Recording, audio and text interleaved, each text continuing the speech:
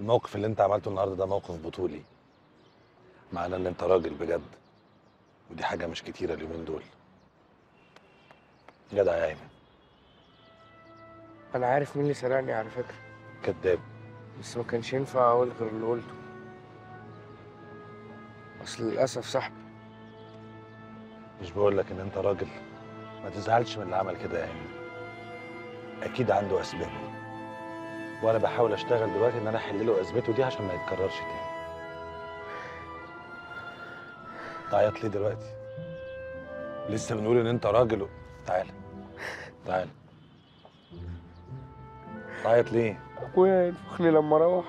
مين اللي ينفخك أبويا.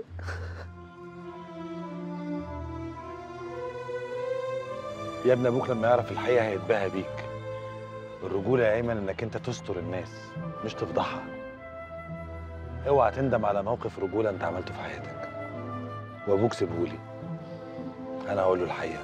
وهتشوف هيتباهى بيك إزاي وهيفتخر بيك إزاي. النفخ ده سيبهولي أنا ما تقلقش.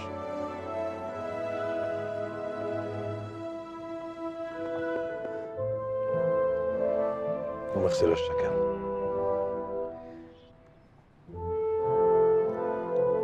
أيمن. شكرا.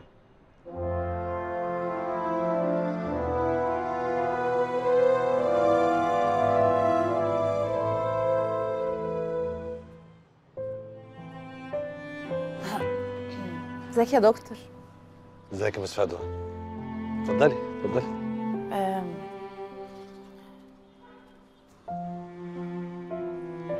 بص هو إحنا كلنا عاوزين بصراحة نيجي نعتذر لك يعني على اللي حصل معاك النهاردة.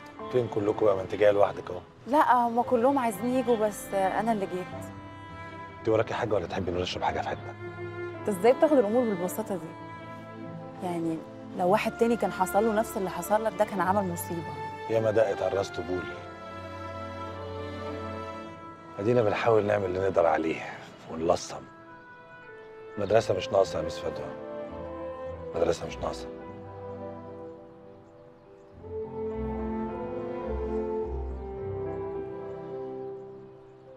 هو في إيه؟ تفضلي بصالي كده ولا إيه؟ ده؟ أنا بتكسف على فكرة إيه الإحراج ده؟ هقول لك على حاجة قولي انت من اغرب الناس اللي أنا قابلتها في حياتي.